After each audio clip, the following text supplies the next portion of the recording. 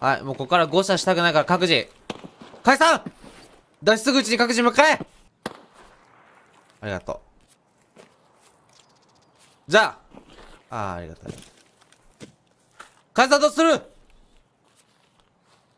散れあ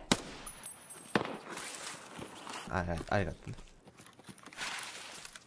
ああ、イゴール肉で草。ありがとうね。コレコ見つけたやつ殺す。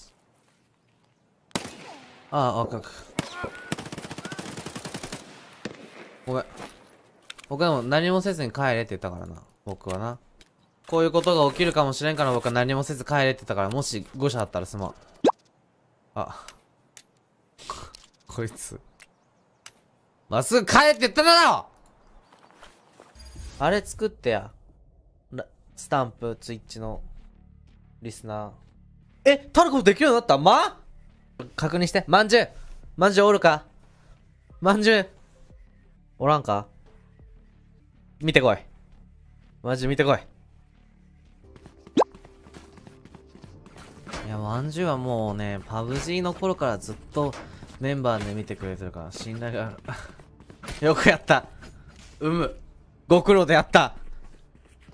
お前をモデレータースパナ大臣に任命しよう。これからも頼んだ。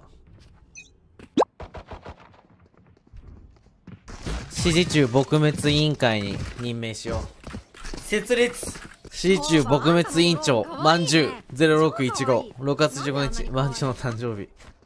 頼むぞ。皆さん今一度お気をつけください。大臣が目を光らせています。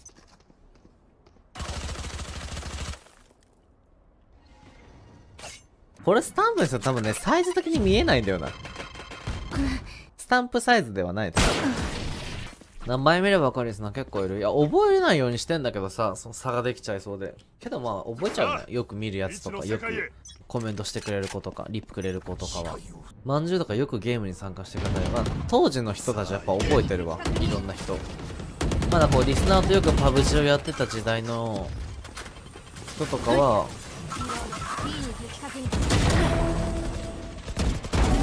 そんなに前の話でもない。いや、でもそう考えるともう、だいぶ前じゃない？もう3年前とかでしょ？だって。楽しかったなぁ、あの時は。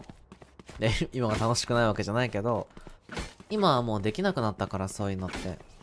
僕、リスナーにモデ渡すのありだと思う。なんか明らかに嵐コメだったり、ステアカのなんか、空気悪くなるようなコメントを、ちょこちょこリスナーにモデレーター渡そうと思ってたんだよ最後の一人だトキシックな発言とかしない人とかを選ぶけど。ああ、気持ちいい。頼むよ、まんじゅう。あの、タイムアウトじゃなくて、チャンネルに表示しないでよ、一発目から。永久、永久停止みたいな方で大丈夫。